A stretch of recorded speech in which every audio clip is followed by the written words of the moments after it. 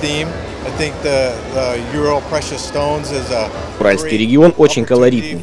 Здесь густые леса, драгоценные камни, и было хорошей идеей выбрать именно эту тему для конкурса. Когда мы рассматривали работы, нам было сложно сделать выбор. В конечном итоге мы выбрали поделку маленького мальчика и девочки, ей 11 лет.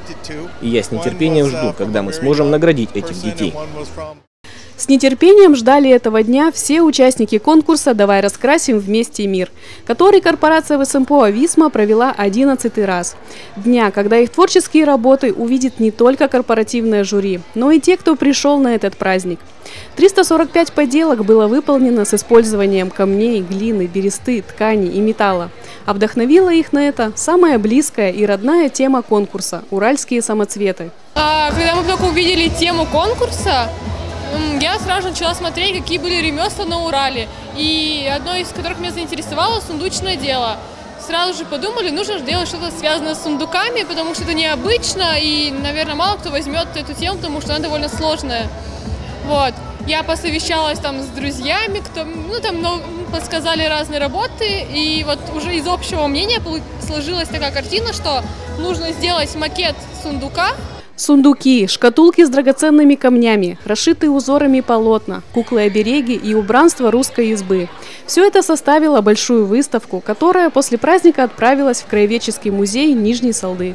Я еще только начала обходить, поэтому мне нравится все практически. Поражает вообще э, разнообразие и рисунки, и различные поделки, и природный материал, и какие-то современные материалы использованы в работах. Здорово все. На современный лад сыграли сотрудники Центра детского творчества и героев праздничного представления. Центральной фигурой действа стала Баба Яга. Она уже не увлечена поеданием добрых молодцев. В ее жизнь ворвались новые технологии. Не ожидали, таких старушек и не видали. Она как рыба в интернете, смотрит там про все на свете. И ей показывал YouTube, как варить, к примеру, кто милее всех на свете, тоже интернет ответил. Поглощенная интернет-пространством Ега совсем не заметила, как ее изба заросла паутиной. Насмотревшись на уральских мастеров в Ютубе, Ега Кощеевна решила сделать ремонт и наколдовала себе бригаду мастеров – Степана Кузнеца да Марюшку Хозяюшку. Они помогли Еге разобраться со стройматериалами и начать новую жизнь. Но все-таки главными героями сценического действия стали победители конкурса, а исполнители лучших номеров артистического этапа украсили церемонию награждения душевными стихами, песнями и веселыми танцами.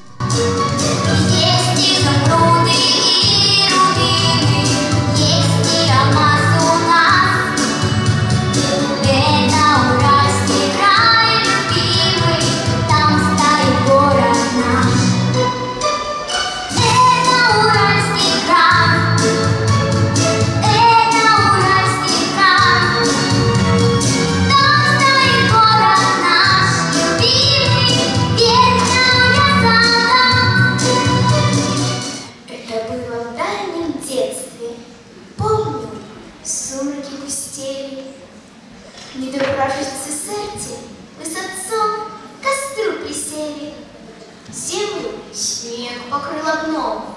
Было холодно и вьюжно. Пахло смолкой сосновой. В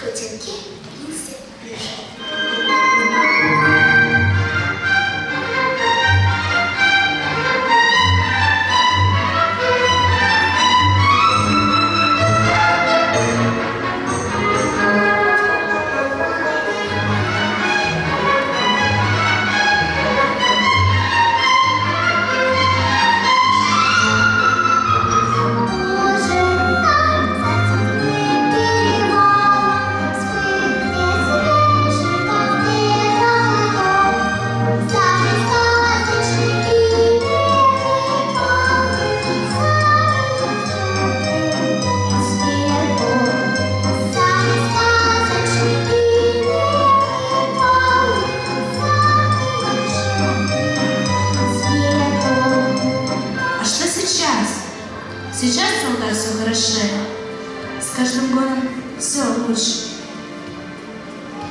люди здесь какие? С характером уральским, стойким, терпеливым, и доброта, отзывчивость жива. И я считаю, что самоцвет не только яркий камень из земли, а люди, что творят и делают нас больше, чем людьми.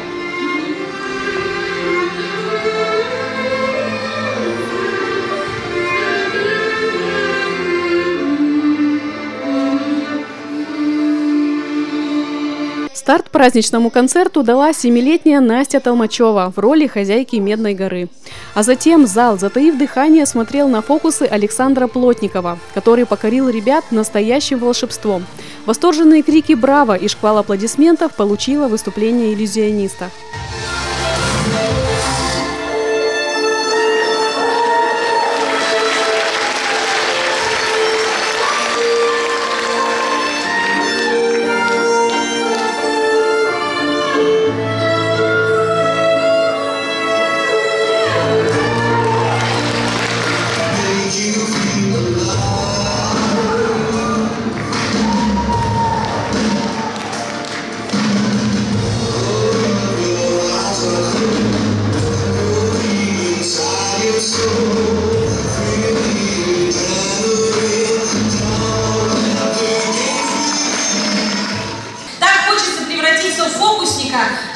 чтобы всех вас одарить призами и наградами, потому что все вы достойны этого. Перед, перед вами самые юные победители нашего 11 конкурса. Это самая перспективная группа, потому что они еще могут участвовать в 10 предстоящих конкурсах. С самых маленьких лауреатов началась церемония награждения лидеров конкурсных этапов. В их числе София Климова, которая уже сейчас планирует снова стать участником соревнования под названием «Давай раскрасим вместе мир». Вместе с мамой Соня проделала большую работу по созданию кукол-оберегов. Эти куклы от вот этого Спиридона все идут по... У нас четыре года. Четыре года. Вот. И каждая кукла что-то в году обозначает. Эту зовут травница. Эту веснянку, верба, масленицу, ангел. А тем временем церемония награждения продолжалась. 28 участников были удостоены специальных призов, которые вручили детям представители цехов и давние друзья конкурса. век высоких технологий мы редко встретим хорошую книгу. Э, Мне очень понравилась книга э, Марии Пряничниковой. Она очень хорошая задумка. Э, «Семь чудес нашего края». Я, признаться, к своему стыду многие чудеса не знал. Наш цех занимается монтажом нового оборудования. И иностранцы спрашивают, на что вас посмотреть. Я сейчас всех буду высылать э, прочитать книгу э, Марии Пряничниковой. Немало рукотворных книг представили ребятишки на 11-й корпоративный конкурс. Но во время подготовки своих творческих работ каждый из них прочитал изданные книги известных писателей и узнал для себя что-то новое. Меня вдохновили сказы Павла Петровича Бажова. Это финальный сказ о хозяйке, который не был напечатан, но он сохранился в записях самого Павла Петровича. Меня вдохновил именно этот сказ и красоты нашего Урала, нашего города. Это шкатулка.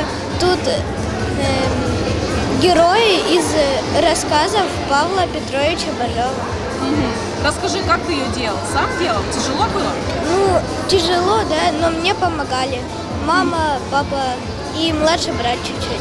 Еще делали девочек, которые тетеньки. Там одна шьет у нас, одна рассказывает про эти ме- ремесла.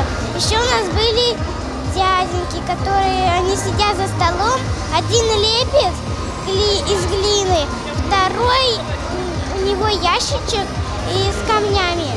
Организаторы конкурса порадовали детей интерактивными игрушками, настольными играми, наборами для рисования, спортивным инвентарем и портативной техникой.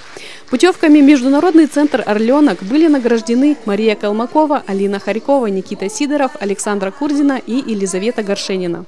Главный приз конкурса «Путешествие в Европу» достался Ксении Васьковой, Арине Семеновой, Ксении Зуевой, Александру Недотко и Арине Седовой. Получив красочные сертификаты, ребята пообещали поделиться своими впечатлениями от путешествия и обязательно принять участие в новом конкурсе «Давай раскрасим вместе мир».